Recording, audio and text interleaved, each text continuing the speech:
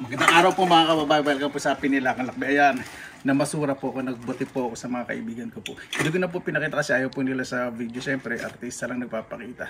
Samahan po ninyo kung mukhang marami kong pang shopping po ngayon. O, di ba? Anim na plastic bag. Tara, samahan po ninyo ako.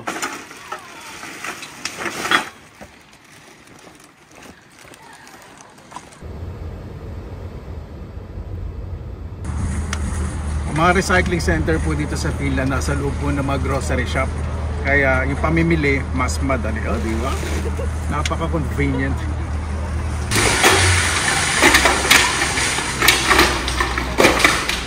Noong una, pag namumulot po ako ng mga bote, so lalo na po sa mga party at sa kung saan saan, medyo nahihiya po ako. Pero mas nakakahiya po ngayon, wala ka nang makain. At tapos pa-pride mo, doon ka mamamatay.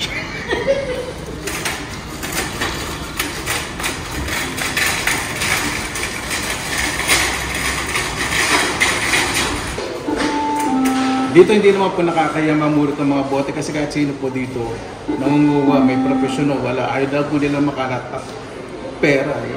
Isa-isahin ko po. Dito sa malaki, dito sa malaki, plastic sa kameta lang. E kaya lang, hindi ko na ayos sa bahay. So isa-isahin ko na po lahat dito. Para exercise na rin po sa, sa magandang muscle ko. Napakadali lang po. Di ba? May sabitan. O, isa-isa. At binibilang na magkano. Imagine po, ilan pa lang yung nalalagay ko eh, mag 2 euro na. So,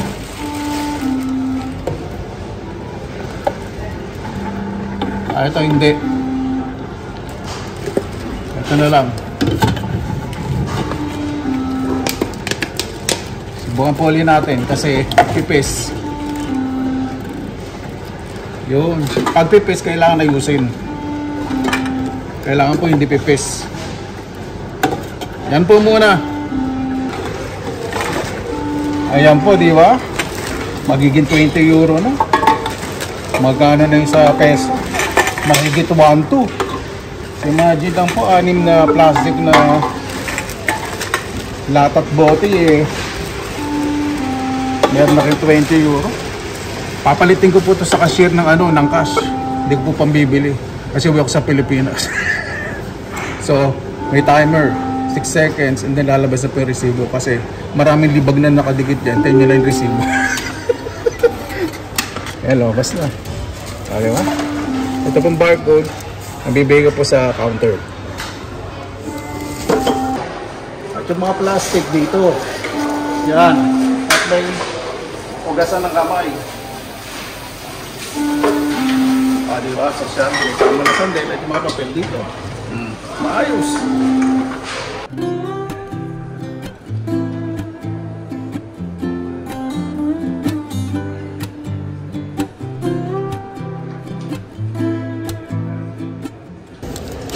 Ayan po.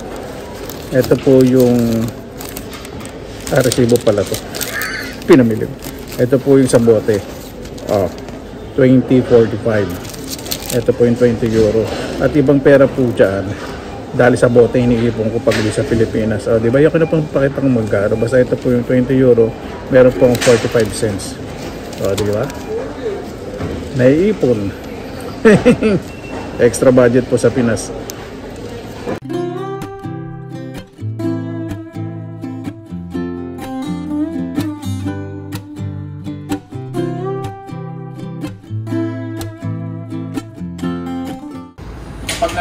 Po talaga ako, may budget ako. Karamihan po sa boteng mga na iipon ko po at mga winawaldas ko po, hindi pwede kinaharabat ko po sa mga kaibigan ko. Kinoconvert ko po sa pera. Minsan nihulog sa akin siya pagbaryan. Kaya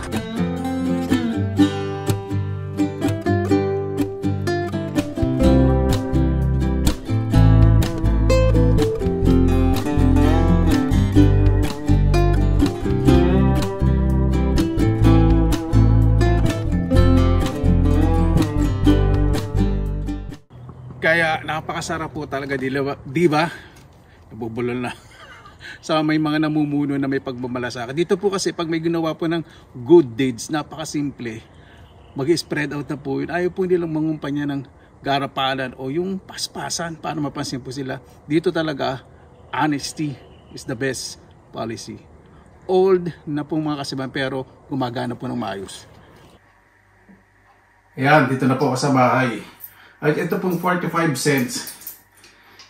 Meron naman akong biniling bagong Alsa second hand siya kasi ito, o oh, di ba? Yung alugin. Manipis lang ito agad siya. Ito, puno na po ito. At meron din po siyang mga bills. O, di ba? Ibig sabihin mga papel po na ay, nako.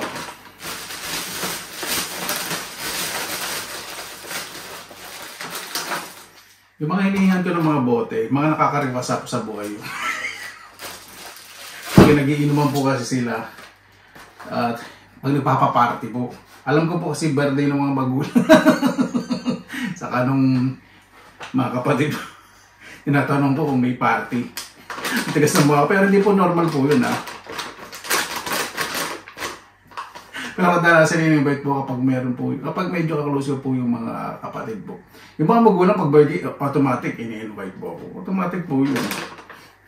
Tapos pagkatapos na nakita ko may mga basyo, tumitingin sa akin isang kaibigan ko, alam na nila. Gets na nila. ako taga-ipon po, ako taga-ipon ng mga bote pang ngayon. Tumutulong po ako sa bahay. Hindi po normal po dito, pero ako ganun po. Tumutulong po ako sa pag-serve, pag-collect ng mga bote kasi alam nila pagkataas ng party babalikan ko po hingin ko po yung mga bote hindi po matigas ang mukha ko ang tawag po doon pakikisama pagiging totoo yun Siyempre kapag meron tayong kailangan sa kapo, pakikisamahan natin. Huwag naman natin abusuhin yung tinutulungan na tayo na walang kondisyon tapos wawalang yung pa natin, di? So bumili pong mga karne, hanggang ano po ito? Uh, baka hanggang pag-alis ko. Ilang karni lang. Tapos bumili rin ako ng mga ibang chocolate na pasalubong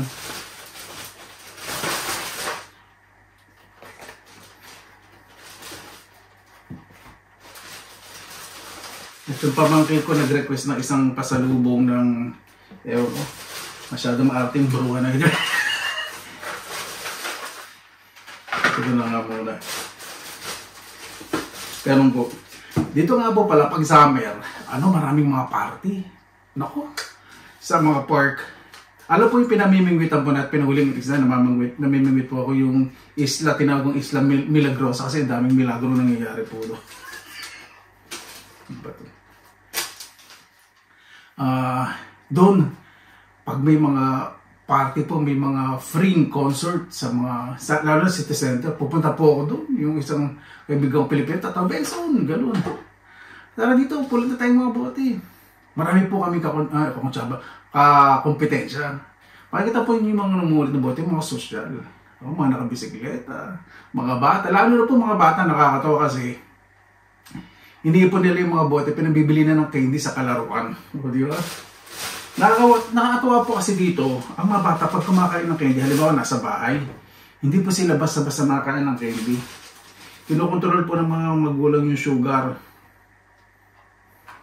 sa mga bata. So hindi na gulit kasi pinapractice po yung healthy living, yung balance, para hindi po mawala ng gana sa pagkain. Kasi pag kumain ng candy, mawalan po ng gana ng kumain. Dahil sa sugar content, yun. So ang gagawin po ng mga bata, alam ko po yan kasi dati dumating po ko dito eh, nung tumira po sa kapatid ko, mga kaibigan ko, mga bata. mga bata po yung gagawin. Gagawin po ng mga bata, ano po yan, uh, sasabihin nila kung saan may party. Nung kasama po yung mga bata po sa dating nakatira po sa kapatid ko, uh, inaaya po ko, sabi nila, Benson, Benson, may tama ka sa amin, may party doon, puro tayong mga bote. Sabi ko, sasama naman ako. Pero yung napupulot ko, hindi na ako nakikipagkumpedensya. Sinasa, ina, hinahati ko na lang sa kanila. Natutuwa sila, kaya gusto nila lagi ko kasama kasi bilis-bilis ko daw. so, ang dami po talaga mga bata. Ang gagawin nila, so sumama, ano gagawin nyo dyan? Kasi hindi ko pa po alam that time. Hindi ko pa po talaga alam. Para sama. Yung dahil pamangin ko, tawag sa Tito Job, Tito Job, Job po kasi yung ko. Tara, tara. Tapos niya yun. Sabi ko, saan mo dadalhin yan? Yung pamangking kong isa, ano, nakaipon siya ng bote. Napakarami. Tapos nang sumama ko sa tindahan, sa grocery shop, malapit lang, sa local shop, tinanong sa kanila, dasin niya dadalhin. Kasi finish eh. Nagkasalitang English sila pa unti-unti. Come, come, come. Hindi nila masabi na papalit nila ng pera. Tapos nakita ko yung ano, yung recycling center, yung hulog. Tuwan-tuwa ako. Sabi ko, ay ganun pala, may pera pala yun. Tapos nakuha silang pera, tuwan-tuwa sila. pinabili na ng candy, pinabili nila ng laro, tuwan-tuwa. Tapos binili, binili pa ako ng candy kasi nga doon, nag-share ako doon sa mga pamumulot ng bote. Sabi ko, hindi, sa inyo na lang. Nakakatuwa po pag ganun. Kaya pag maraming ano, katulad po ngayon magjo-June, nako, napakarami pong mamumulot, napakaraming bote. Sa totoo lang po ah, napakarami pong namumulot dito ng bote at nakakapag-travel, wala pong halong biro. Nakita niyo po yung dala ko po kanina na anim na supot lang na plastic bag. Oh, 20 euro na po yun. Uh, 612. Uh, 60 na po, may may 60 pesos na po ano eh, 1 euro. So, may 1,200 na po yun, di ba? Opo, totoo po yan, hindi po ako nagbibiro. E lalo na po kami mga okasyon, ayun, eh, hiningi ko lang po sa mga kaibigan. E lalo na pag namulot, makikita niyo po yung napupulit ng mga plastic bag na itim. Whole day. Pag kinarir po, lalo na may mga concert, pupunta sa siya, makikita niyo po yung mga bata, nakakatawa, hila-hila. Opo, nakakatawa. Tulong-tulong po sila. Ay, nako. Masama po talaga, no? May experience yung ganito na yung serbisyo na binibigay po sa mga tao at yung pagpapahalaga po sa kabuhayan ng mga tao, makita niyo po talaga na tulong po ng disiplina. May binabalik po sa tao na walang magugutom. Imagine po ninyo. Makaipon ng pera. Ito po yan. Uh, sa mga Pilipino rin po siyempre dito, di ba? Na ibang mga nagbablog, so nagsasabi, ito po yan, pinakikita po talaga na makaipon po talaga kayo ng pera sa pamumulot po ng bote. Wala pong halong biro. Hindi po nakakahiya kasi dito. Ano ba ito na mo to? Nakita ko yami ko eh. Hindi po dito nakakahiya. Yung kung trabaho nyo, uh, wala po ditong, kung basurero ka, hindi po sinasabi niya, wala po ditong salitang, ay lang trabaho mo, wala pong ganun. Kasi per ora po kinikita po dito. Saka po dito, once na isang politiko ay na question ng corruption, automatic, self, ano lang po yun, uh, magre-resign na po ng voluntarily. Hindi na po titigasan ng mukha. Hindi ko na po masyadong ipoprolong o patatagalin about sa politics na ayoko po. Basta yung sistema lang po talaga dito na mas pinapahalagan ang pangailangan ng welfare po ng mga tao ay sobra pong kahanga-hanga yung disiplina na pagpunta po dito sa Finland at syempre sa mga ibang Pilipino na pupunta po dito sa Finland, wag po natin lagi sabihin sa mga tao na ganyan kasi kami sa Pilipinas, eh ganito sa Pilipinas na to eh ganyan kami sa Pilipinas, hindi pwede ba gawin? Mali po yun. Pag pupunta po kayo sa kahit hindi po dito sa Finland o kahit sa ibang bansa, Huwag po ninyo pagsasalaksakan sa mga tao. Siyempre, pinagmamalaki ko Pilipinas, mahal ko Pilipinas. Ibig sabihin, Mahal natin ang Pilipinas pero huwag natin ipagduldulan sa mga tao na pupunta natin bansa. Yung bansa pupunta natin, dapat yun i-embrace po natin. Respetuhin natin, alamin natin ang kultura, yung galaw ng sistema para mabuhay po tayo ng maayos. Kaya po mga kabayan, o di? Few days, binilang po na ilang pagkain at next week nasa Pilipinas na po.